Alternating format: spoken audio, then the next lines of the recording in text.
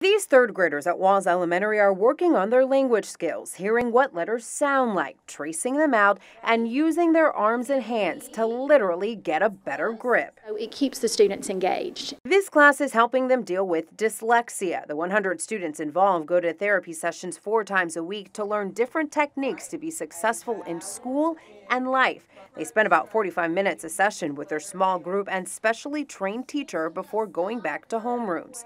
Assistant Superintendent Jennifer Weeks says parents of dyslexic children reached out to the district to get more resources for their students. Well, it's frustrating to everyone, but especially to the student and to the parents that see their students struggling. So um, we felt like it was important. So important, DCS found $300,000 in its budget to help and build the program. These children oftentimes are very highly intelligent. Um, you know, they are twice exceptional and they just struggle with the language. Take the word down.